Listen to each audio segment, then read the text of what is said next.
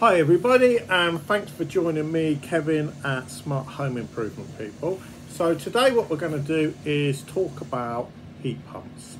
Now heat pumps has been something that's been in the news um, for quite a long time because obviously the government are trying to go down the renewables way. One of the things that they're trying to do is get more and more people to get heat pumps and replace them from their old boilers. So when it comes to heat pumps, what heat pumps are there? Well, you've got two main types of heat pumps for those of you that don't know. Okay, so you've got your air source heat pumps, okay, which is the most common type of heat pump that you can get and tends to be the cheaper option as well. Okay, where it basically draws heat from the outside air. Pretty, pretty obvious. You can't get much, much obvious than that. And then you've got the what is tends to be slightly more expensive, um, but not as many people tend to get it, which is the ground source heat pump, um, which basically just extracts heat from the ground, which um, remains at a relatively constant temperature all year round. Okay, unless you're obviously looking at the top where at this time of year it's pretty damn frozen, to be honest. And sorry for swearing, but it's it's bitterly cold where I live at the moment and it's extremely windy. Okay, so being realistic, what is the benefits of getting heat pumps?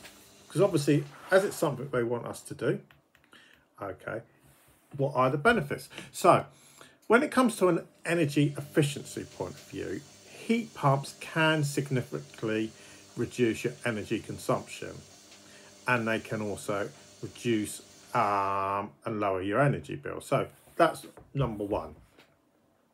Number two, it can reduce your carbon footprint because obviously you're not getting gas. So it means that you'll be reliant on re renewable energy sources and how um, heat pumps can also help reduce greenhouse gas emissions as well.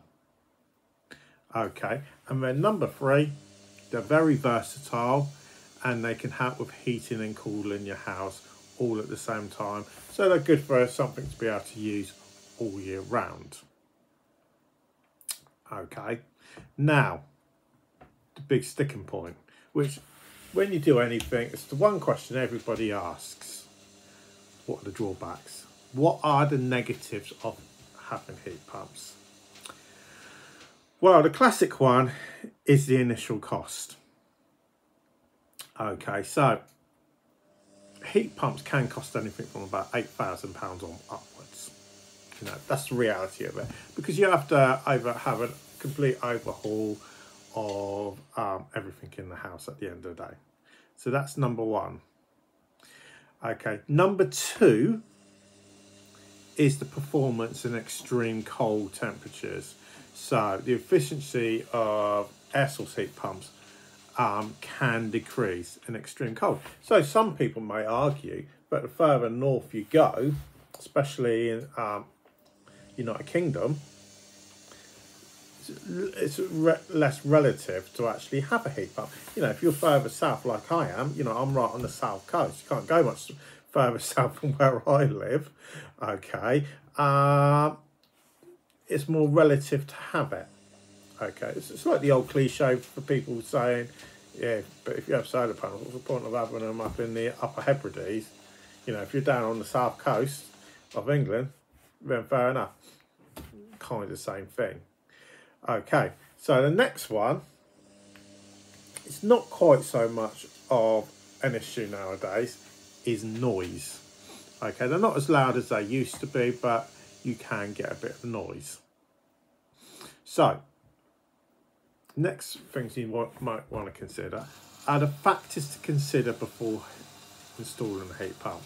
One, you're going to need to take into account your climate. So your local climate will influence the type of heat pump that's best suited for your actual home. You know, then your home insulation. So good insulation is always essential to optimize and have it working at its best performance. You know, third of all, you're going to want to get it professionally installed. You know, none of this DIY job jobby and thinking that you can do it yourself. you're always better off getting a professional to do it.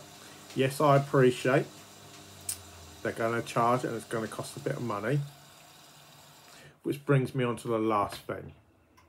Because I've already mentioned cost of the actual unit.